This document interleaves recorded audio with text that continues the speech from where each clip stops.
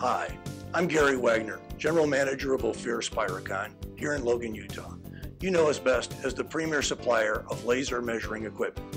Historically, all laser measuring equipment have to have sensors that are in the beam.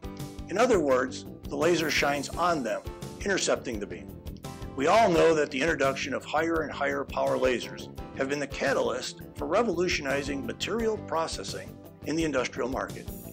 Automotive, aerospace, and military manufacturing are quickly designing in more and more processes relying on these high power YAG and fiber lasers. It's not unusual now to see not only 1 and 5 kilowatt lasers, but 10, 15, 20, and even 30 kilowatt lasers in these factories. Optimizing the process and diagnosing process problems has become harder due to the lack of diagnostic measurements.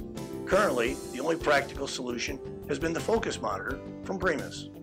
Putting a spinning wire into these higher and higher power lasers has become problematic, and such a technique is not capable of measuring beam changes at the critical startup phase. Today, we are introducing BeamWatch, the first device to measure very high-powered lasers without intercepting the beam or disrupting the beam like a spinning wire or camera does. You can see here the hole that the beam would pass completely through.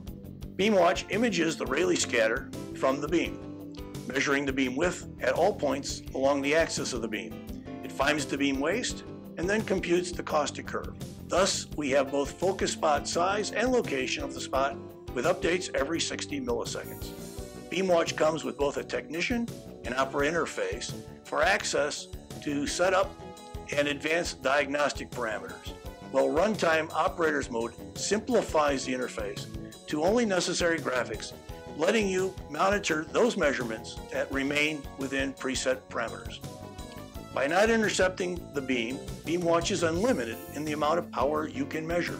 So far, we have measured up to 30 kilowatts, and it will be testing at 100 kilowatts in the immediate future.